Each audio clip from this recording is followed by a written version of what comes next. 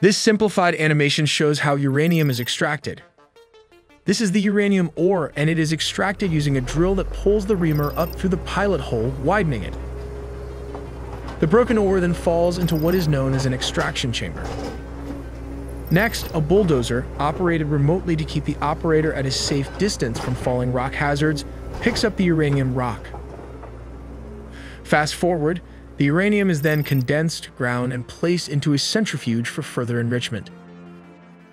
Everyone is talking about centrifuge enrichment, but let's explore how it actually works. In this visualization, the green dots represent uranium-238 atoms, while the blue dots represent the concentration of uranium-235 atoms. This first batch is natural uranium, which contains only 0.7% of uranium-235. Here, in this image, we have 5% low-enriched uranium, which is used for commercial nuclear power plants. Finally, we have weapons-grade uranium, which contains 90% uranium-235.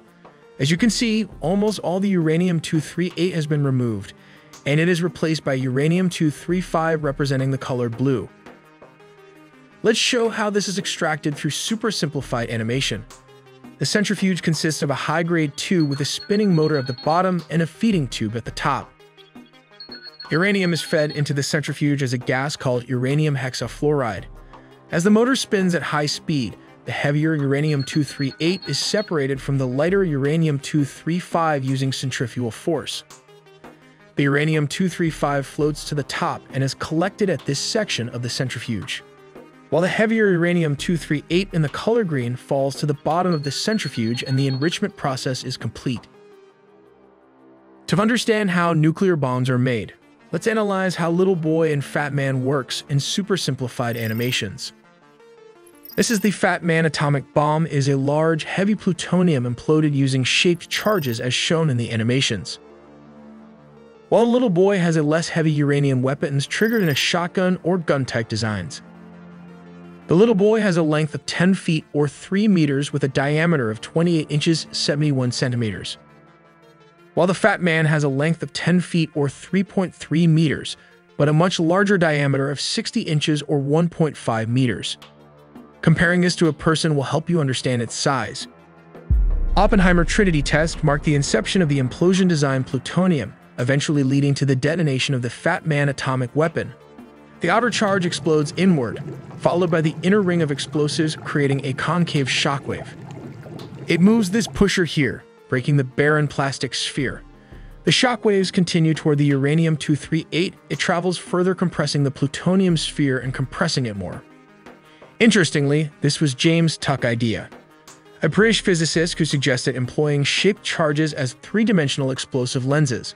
But it was further developed and perfected by von Neumann, Hungarian-American mathematician, physicist, and computer scientist. Enough history lessons, let's dive into the basic engineering behind a nuclear weapon. These are the three electric gun primers. The primer is the device responsible for initiating the propellant combustion located here, also known as the cordite or conventional charge, that will push this projectile at an explosive force.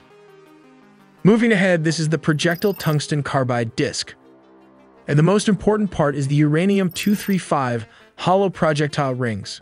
It weighs around 84 pounds or 38.4 kilograms. While the front is the uranium target rings that weigh around 56.2 pounds or 25.6 kilograms. That is around 145.5 pounds or 65.5 kilograms of uranium.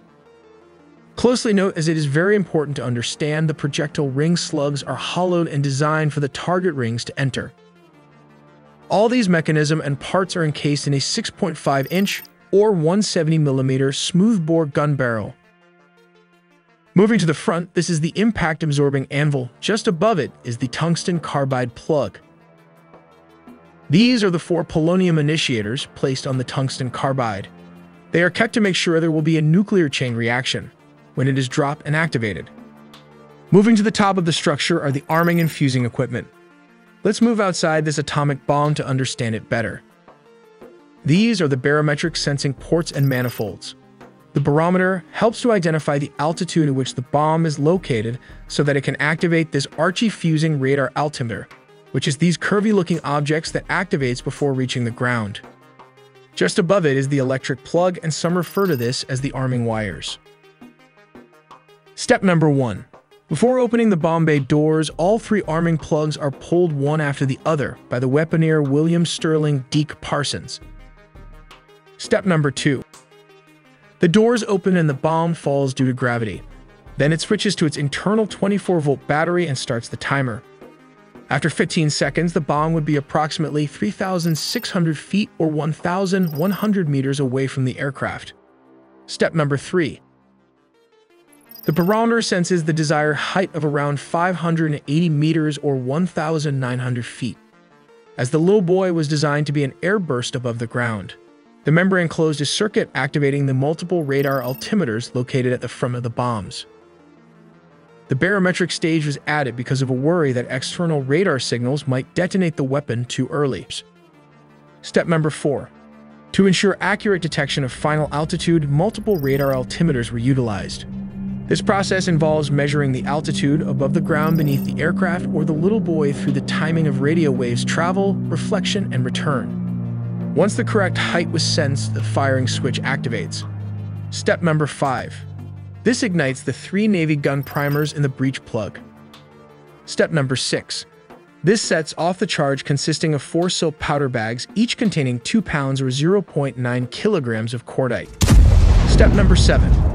The uranium projectile will be launched at 300 meters per second toward the opposite end of the gun barrel. Step number 8. Four polonium initiators placed on the tungsten carbide initiate the nuclear reactions. Step number 9. This is where nuclear fission happens. Let's dive a little bit deeper. The neutron strikes the nucleus and is absorbed. The absorbed neutron causes the nucleus to undergo deformation. The nucleus fission releases an average of two or three neutrons, thus creating a chain reaction, or in some words, an explosion. The blast radius can be divided into several zones.